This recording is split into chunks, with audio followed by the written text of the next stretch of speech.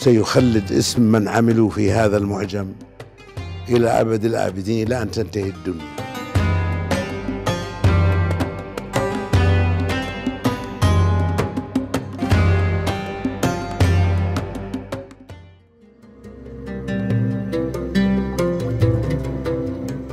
أعزائي المشاهدين أهلا ومرحبا بكم في برنامجكم معجم البابطين لشعراء العربية. القرنين التاسع عشر والعشرين. شاعرنا لهذه الحلقة هو الشاعر أحمد يوسف حمدان عمران. ولد في بلدة ظهر بشير بصافيتا غرب سوريا عام 1913 وفيها توفي عام 2000 تلقى تعليما تقليديا على يد والده. ثم عمل على تثقيف نفسه إضافة إلى أخذه اللغة العربية وعلومها على أيدي عدد من العلماء والفقهاء في زمانه. عمل شاعرنا بالزراعة والتجارة في قريته إضافة إلى كونه مرجعا دينيا واجتماعيا في منطقته. وردت له بعض القصائد في بعض الدواوين الشعرية وله العديد من القصائد المخطوطة في حوزة أسرته. قيل عنه شاعر مناسبات وما أتيح من شعره قليل معظمه في الرثاء الذي اختص به أولي الفضل من الشيوخ والعلماء في زمانه. يميل إلى التأمل وإسداء النصيحة والاعتبار الذي يتخذ من فلسفة الموت والحياة إطارا لبث رسائله. تتسم لغته بالتدفق واليسر مع جدة في الخيال. ورمزية تتجه بها متجها عرفانيا صوفيا. التزم بالوزن والقافية فيما أتيح له من شعر فهو شاعر تقليدي.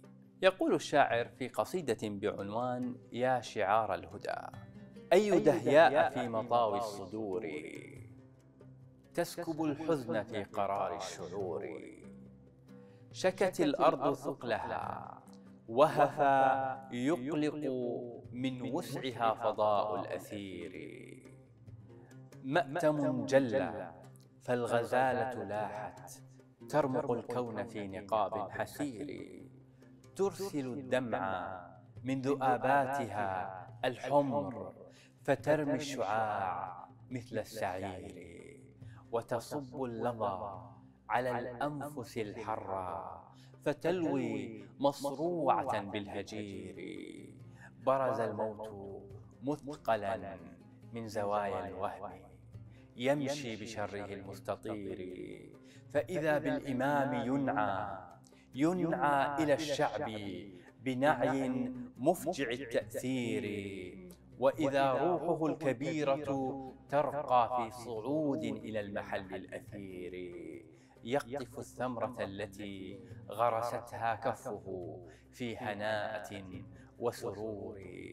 فأتى سدرة الخلود طروبا في ضروب التهليل والتكبير. وأتته الوفود من زمر الأملاك. تهديه بالثنى المأثور. عرس بالسماء. باهت به الأرض تجلى في زغردات الحور وعلى الأرض مأتم.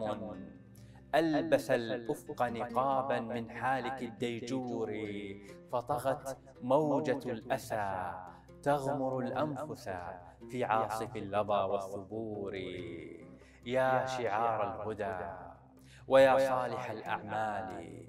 يا خير ناصر ومجير كنت عونا لمن دعاك وبرا باليتامى وكنت عطف الضمير. عشت ما عشت للصلاح وللإصلاح للمكرمات والتفكير. ذكريات ما زال ينشرها الدهر على الناس غضة في العصور. قد سئمت المقام في العالم المغموس في لجة الشقى والفجور. فأجبت النداء للعالم الأقدس مستبشرا بحسن المصير. هانئا في ربى الخلود مع الأملاك في موطن النعيم الوفير. رفرفي روح صالح عن يمين الله. في جنة الهنا والحبور واسأليه من لطفه. يلهم الصبر عزاء لشعبه المبرور. أما من قصيدته ما اهتداها سوى محمد والتي نظمها في رثاء محمد محمود مصطفى. يقول الشاعر هي رغم الأبحاث طي خفاء خلف حجب شديدة الظلماء. هي من خلف حجبها ترمق العالم هزءا بنظرة شزراء. والأماني البيضاء رفت حواليها رفيف الفراشة البيضاء. ذللوا الصعب في طلاب أمانيهم. فزلت بهم يد الإعياء.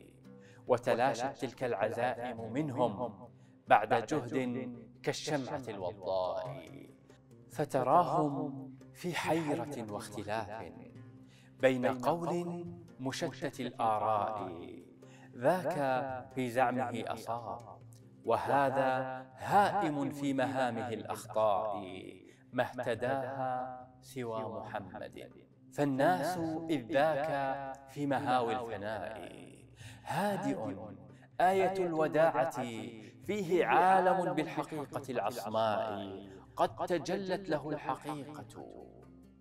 في الجوهر تبدو في باهر الأضواء. عرفته ابنها وقد أرضعته وهو في مهده حليب الإباء إلى هنا أعزائي المشاهدين نصل معكم إلى ختام هذه الحلقة. إلى أن نلقاكم مجددا. إلى اللقاء. هذا البرنامج برعاية مؤسسة عبد العزيز سعود البطين الثقافية.